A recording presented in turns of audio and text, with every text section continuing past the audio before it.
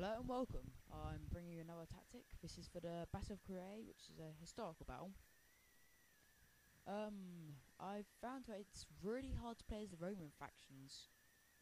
I've noticed that the horse horse archers and cav factions in this have very large dominance. I'm playing as the Scipii Romans. My ally is playing as the Brutii. Um, the nearest enemy is the Armenians. They have mainly infantry, some bit of heavy cav, and some war elephants, or mercenary war elephants. So equivalent, I think, to war elephants, I believe mercenaries are. On the other hand, though, this army is entirely cav. They have five units of horse archers. One of them's near a mountain outside for the moment. Um, armored Eastern General, three units of cataphracts, and a few missile troops with one unit of Eastern Infantry. So me and my ally, my ally's suggestion is to go up onto this hill, and, and it actually is pays off. It actually is what wins us this battle. So the idea is that we defend this little bit of hill. You know, it defeats the hor- their horse advantage because they'll have to go uphill. It will defeat their mobility as well as their horse archers' ability to able to fire on our men because they'll be firing up the hill. If our men have their shields out in the front, the arrows will be hitting the exact front of the shields instead of going above them or in any other direction. Because if they try and go above them, the arrows just fly over the hill and just miss them completely. So that's the theory, anyway. Um, I have most of the cav, whilst my ally has lots of the infantry. I have a bit of infantry, but for example, I only have one legionary unit. I have auxi- auxilia and two units of auxilia archers, and the rest of it's cav. And to be fair, not the greatest cav in the world either. It's two units of barbarian cav, I think. Two units of praetorian, and my general unit. So it's not exactly the greatest cav either. It does come in handy a bit, but prefer to exchange that in for four legionary units. Anyway, so the Armenian enemy has decided he wants to swing around his light Arab cav and his mercenary war elephants.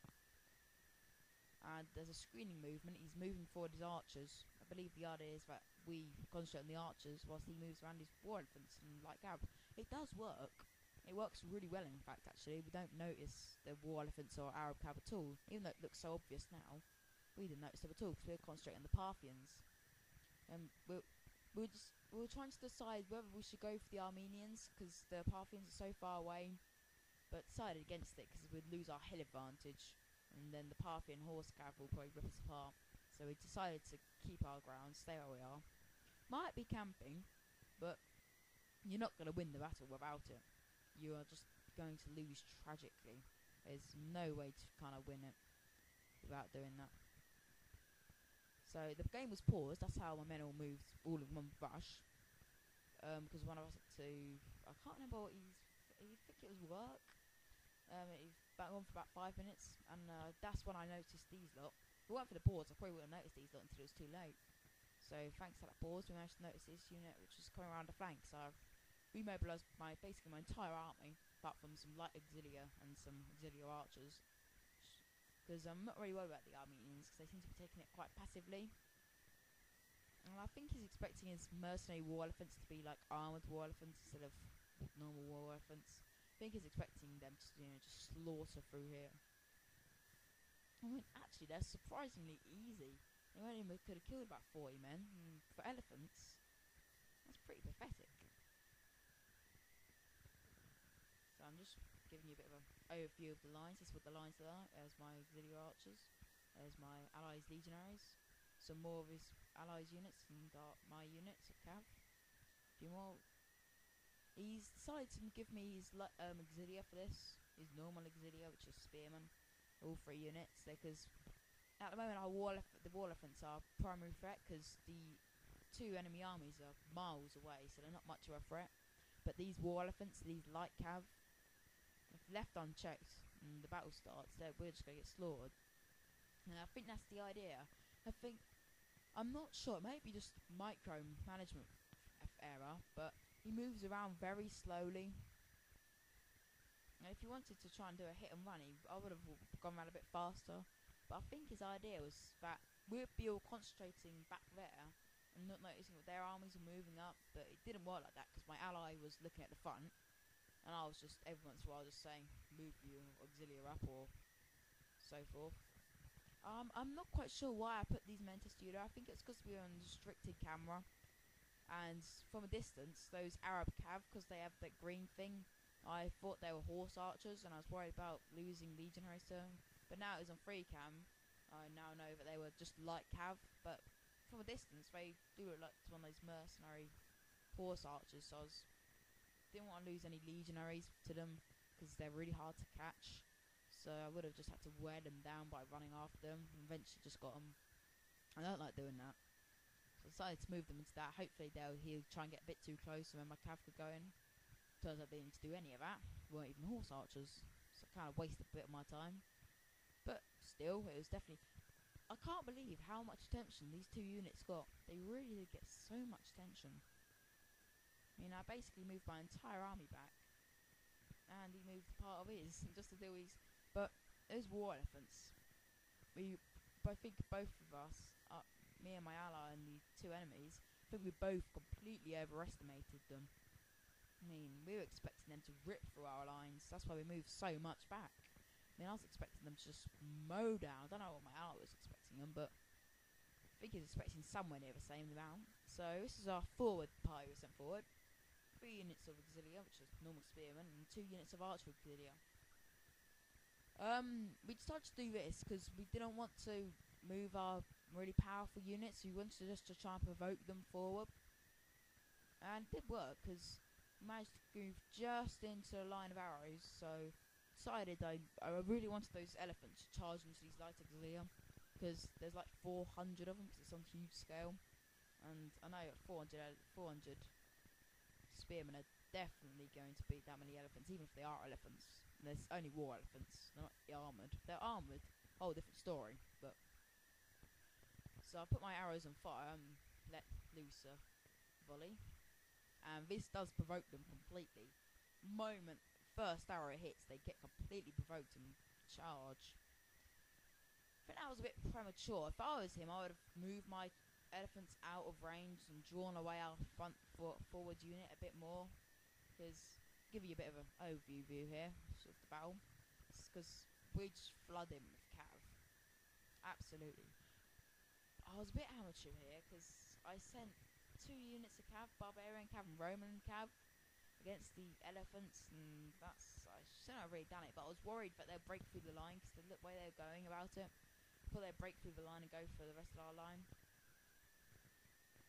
So I've I've sent around my cav, and then I quickly pull them back, realizing my mistake. And his elephants do do uh, quite a lot of damage, and they just run away like that.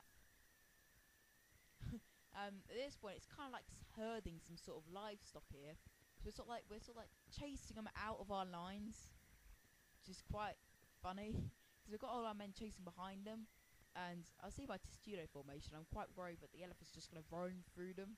Because um, even on when they're routing, they do do damage. So it's sort of like trying to force them out. Now, as you can see, they've moved up their army. Um, again, quite slowly. So at this point, we're starting to fire fire arrows at them. Because the idea is that we're going to make them go on rampage behind their lines. So we better start now before they get out of range. So my archers are starting to shoot those cataphracts. I didn't tell them to. It's just uh, auto fire. I would. I don't know why I decided to shoot with cataphracts, the most heavily armored unit on the game, basically. Um, which pretty much impregnable to ours. It's pretty much a waste. But this is an early engagement, as you can see. Those are Cretan archers. Um, my archers managed to defeat them because of the hill advantage. Uh, the range is absolutely massive if you're on a hill. So the battle's truly started now. He charges cataphracts into the air. Uh, I don't know if you can see in the distance, the elephants have gone on rampage.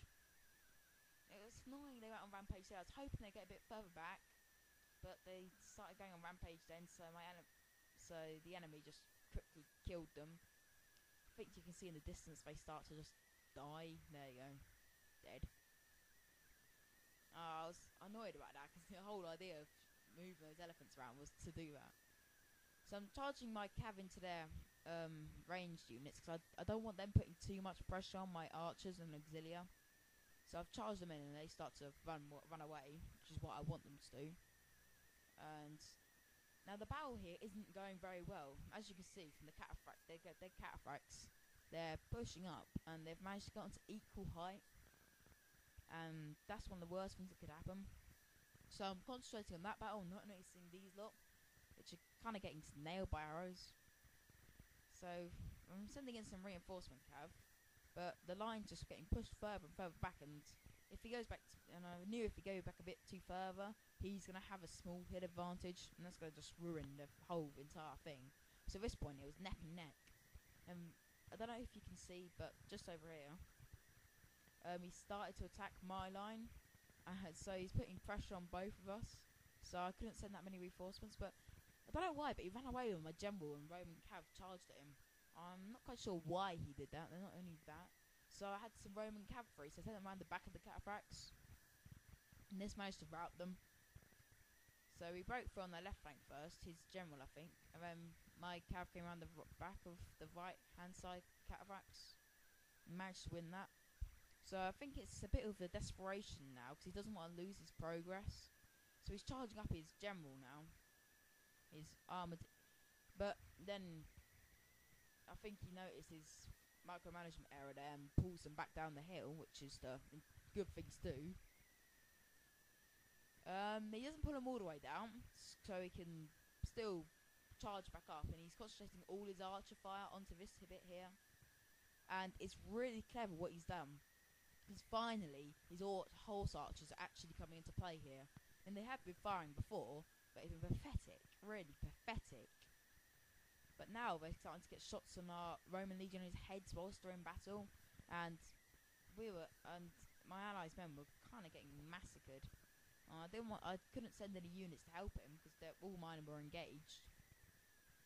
Uh, it was just really frustrating because I saw his line was getting pushed back because of because those units here, they were just murdering the Roman legionaries. There's n- nothing my me or my ally could do about it. But then, that's the pivotal point. We killed their general on the, this side. After that, his men just the Armenian army just started to rout like hell. First with this unit over here, and then my ally swings around his general to the back of them. That's quickly over. I was quite happy that I didn't lose my general because my general was in combat with his pikes, and I was worried that I was going to lose mine. There's a bit of a view of the slaughter. As you can see, most of the action took place in that bit. Not really much on my side because the Armenian army, I don't know, he's very passive. And then most of his army routed when he did finally move them in, so I didn't really get much chance to fight there. So surrounding his general now. I'm sending in some of my free, now free Roman cav. And the battle statistics are still somehow favouring him. I'm not quite sure why. I mean, these e- Roman, these Eastern armored generals must be something pretty nice. I mean, victory is distinct possibility. How did it work that out? I number him like four to one. Anyway, um, but then his general gets killed, and this is really when the entire battle just changes for the worst for them. Both their generals are dead, so both their armies are just manically routing. We're moving down on all fronts now. We've given up our hill position and starting to move down. And his armies, his army's routing before they even get into combat. So he's made defeat now. That's the Parthian general. All we've got left is the remains of the Armenian army, which is basically a shabble of Eastern infantry, which are light infantry, and a unit of archers, really. So at this point, I know we've won, but apparently doesn't want to defeat the. So I've got my archers hitting his men from over because there's two auxilia. They must think they're sort of like they must think they're legends because they're trying to take on the entire arch unit. But my cav are now charging, and at uh, that then then it's just it's just slaughter. It's Rome it's Roman cav versus a bunch of depleted morally archers. So last unit gets finally routed. And here's a nice picture of the elephants. And it's uh, you can't expect to get a heroic victory out of this. Um, and as you can see, I managed to win, uh, get most amount of kills by six kills. So quite surprised we actually won that though, because generally the horse archers get the most amount of victories over here. Especially on desert open terrain, horse archers. That's that's where they are really powerful. Uh, much by thanks to all the players in the game. Uh, subscribe, rate, and comment for more.